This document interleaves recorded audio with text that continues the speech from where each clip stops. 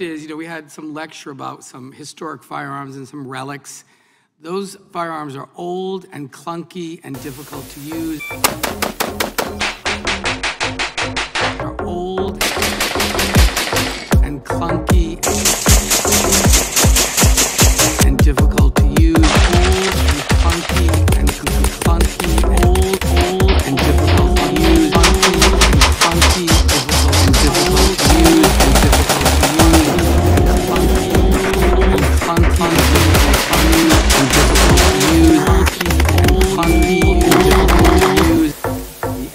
M1 of World War II, the various weapons that we saw the Chinese marching with, uh, those ancient guns uh, were far less lethal.